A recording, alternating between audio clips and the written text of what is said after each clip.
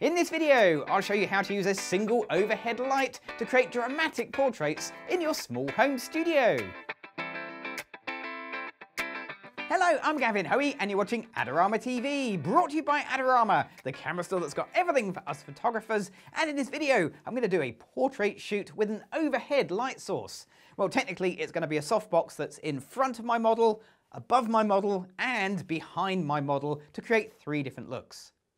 Now, having an overhead light source is a very different look and feel to having your softbox off to the side, something I looked at in a previous video. And in a small home studio, it creates a few problems. The main one for me being ceiling height, or lack of it, because this is as high as I can get my softbox. Now that means I really need my model to be lower down, so they're going to be sat down and probably sat on the floor. So I think the first thing I need to do is make my floor a bit more interesting, then we'll set the light, let's get a model in and let's get shooting.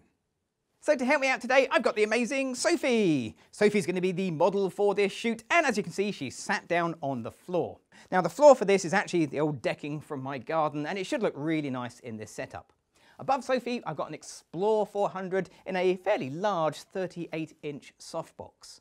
Now it's pointing straight down and I could adjust this by angling the light around. That would change the shot quite a bit. But for consistency throughout this video, I'm going to leave it always facing straight down. The other thing you'll notice is that Sophie will be the same distance from the background throughout. So only the light will change position. Now the first position I've got it in is a sort of classic position, light in front of Sophie. Her head is roughly in line with the back edge of the softbox. I want to work out the, the light that's reaching Sophie, so let's get my flash meter and discover what that's going to be. So when I'm metering the light, I'm always going to point the little dome towards the light source, which is straight above Sophie, like that. And I'm getting F4. That's perfect. That's what I want to shoot at. So let's take a few shots like this and see how this lighting setup looks. So you can start by looking straight ahead at me.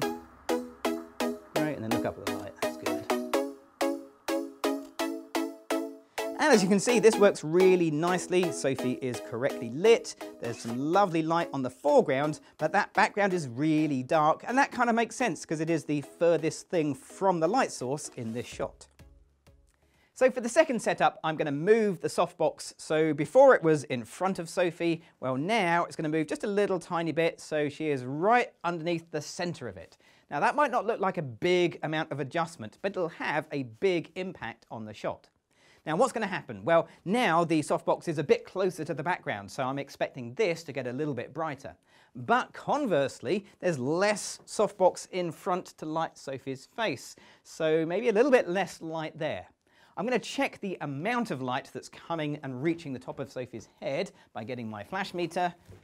I'm not expecting a big change, if any, because although we've moved the light, we haven't necessarily got it any closer. So let's just come and have a look here. And sure enough, it still reads F4. So let's see how this looks.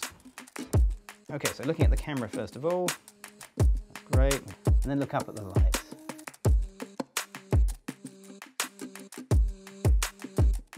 So looking at these pictures, there's a lot more contrast on Sophie's face, and when she's looking directly at the camera, her eyes are in shadow. But the moment she looks up at the light, this works really well and gives a lovely balance between illumination on the background and illumination on Sophie.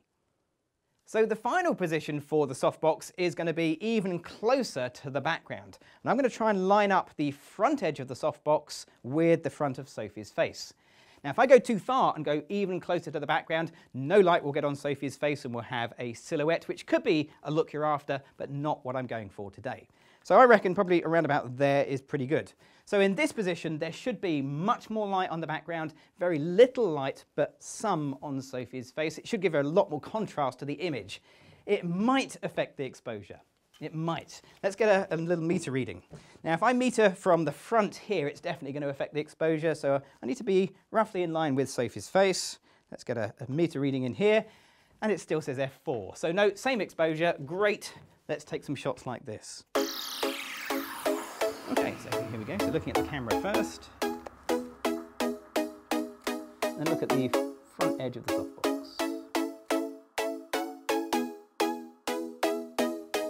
And as expected, that background is now much brighter. And if Sophie's looking at the camera, well, we can't really see much detail in her eyes at all. But the minute she looks up at the light, we can see into her eyes, but we have that really high contrast look with deep shadow and highlights on Sophie's face. So as you can see, I can get three very different looks simply by moving this softbox closer or further from the background. So let's try that, we'll experiment, we'll do a little bit of a shoot and see what we come up with. So Sophie, are you ready? Okay, let's do it. So I think we'll begin with the light swung out to the front.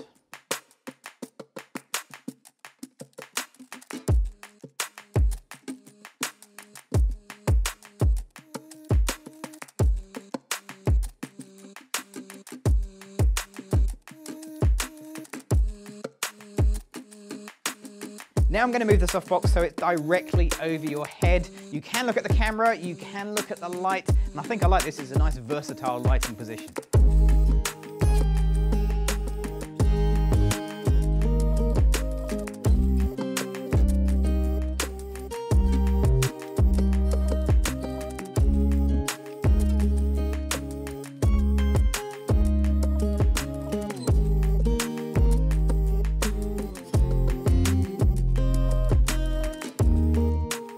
Finally, light towards the back. This time, to get light in your eyes, you have to look at the softbox, not the camera.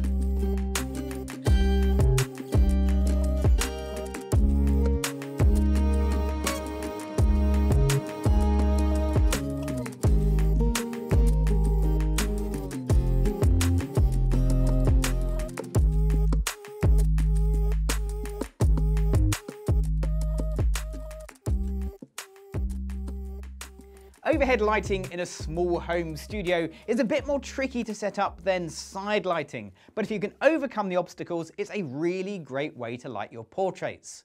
Now, if you've enjoyed this video, don't forget to leave me a comment below. And if you want to see more videos from myself and the other amazing presenters right here in Adorama TV, click on that subscribe button and click the bell icon for regular notifications of our new videos. I'm Gavin Hoey. Thanks for watching.